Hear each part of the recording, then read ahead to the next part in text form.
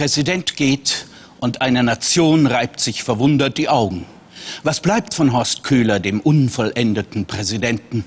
Das Bild ist diffus. Ist er der Seiteneinsteiger, der sich vom zynischen Berliner Tagesgeschäft eben nicht verbiegen lassen wollte?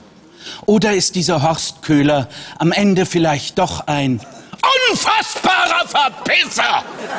Der Laden hier ist bald bankrotter Albanien und der feine Herr Köhler hat keinen Bock mehr.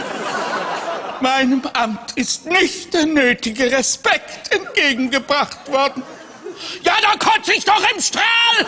Wer hat denn das tolle Amt weggeworfen? Wie eine alte Rotzfahne, hä? Erst der Koch und jetzt der Köhler.